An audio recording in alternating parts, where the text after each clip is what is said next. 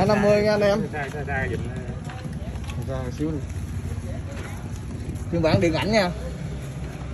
Giải pháp tối tối ưu để ăn thịt chó mắm tôm nha.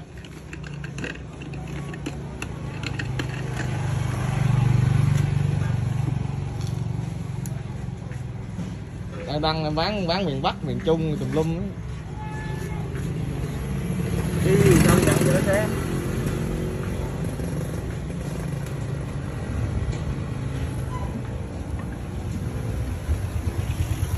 này là tay nắm đàn à, đàn đàn hồi với ờ, hai chó nha với phe đôi nha.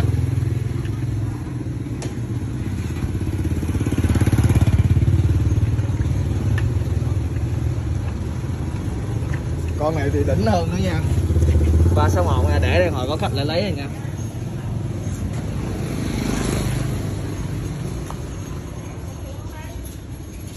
Chú chạy ờ, mấy máy trước là ăn chó nhiều không Bây giờ mà không biết xài là mỗi con lai ra bây giờ biết nó là cũng ít. Rồi cái này là đảm bảo chú là phê luôn. À, chú sẽ xa lánh thịt chó mắm tôm luôn. Đảm bảo chú là nó ăn no luôn. Ngon luôn không con này tầm trung nha mấy anh em. Này đổ lại ờ, phiên bản điện ảnh này rất là xịn nha. Đây thì cửa hàng đây nha anh em. Bên đây một tiệm nè đây hai tiệm nè đây ba tiệm nè. Trên đây một tiệm nữa nha đó, anh em yên tâm, chuyển khoản nha. Đó không giật rất là nhẹ nha, anh em. Có nghe chưa? Lên rồi đó, lên rồi, bị lên nãy nghe ho rồi đó.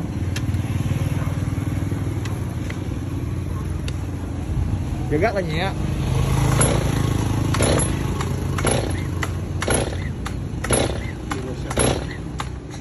Rồi luôn.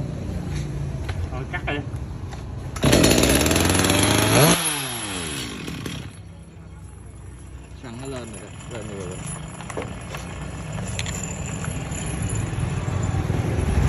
Này ờ, đổi lại bọn chuông cho khách luôn nha.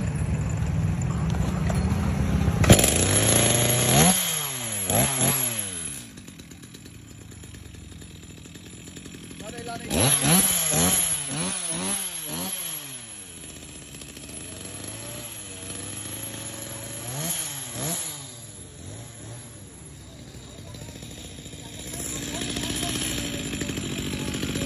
Chưa, ra làm chưa?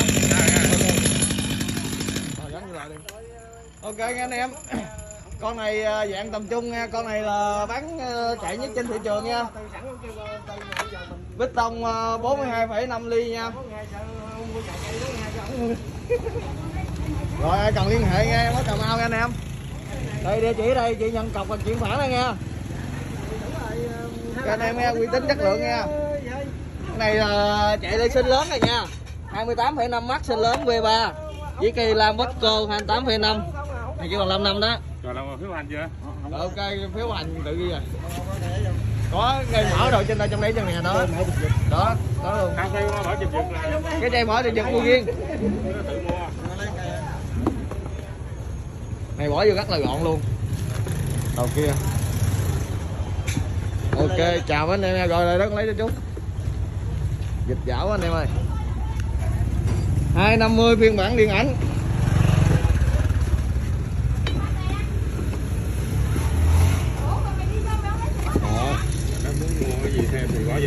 Quá gọn luôn. Ok